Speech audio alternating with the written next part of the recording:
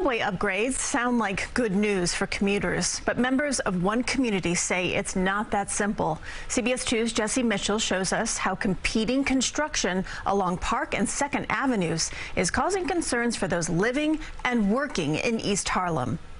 These simultaneous subway upgrades straddle the busiest blocks of East Harlem. But before businesses can benefit, some will face a big burden. Greenhouses grow leaves that dance at the Urban Garden Center. For more than 13 years, the third generation shop has called Park Avenue's La Marqueta home. The train loves us. In September, the city helped Dimitri Gatanas move five blocks south to make way for crews reconstructing the Metro North Viaduct. MTA did a lot to make us whole, but it, it, the gap is so wide but I don't know if I can afford it. At the same time, construction is set to begin along 2nd Avenue, extending the subway from 96 to meet the Metro North at 125th. MTA Chairman Janno Lieber points to a boom in businesses impacted by the first phase of the project. It's going to be a lot better when there's more mass transit right in front of your store. So this will be a huge benefit for them, and we're going to work with everybody to make sure that the construction impacts are manageable.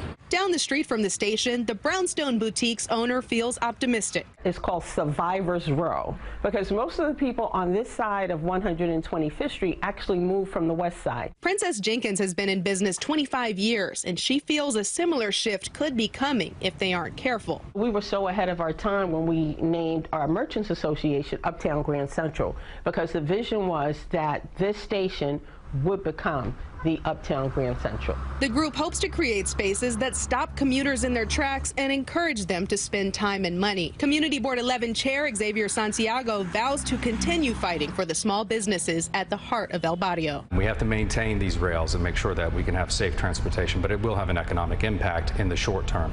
Our ultimate goal is to see a long-term uh, manifestation of success for all of our local businesses and residents. In East Harlem, Jessi Mitchell, CBS 2 News. And the timeline for construction is expected to take at least five years. Jessi is our community reporter covering Harlem. If you have a story that you'd like to share, you can email harlemtip at cbs.com.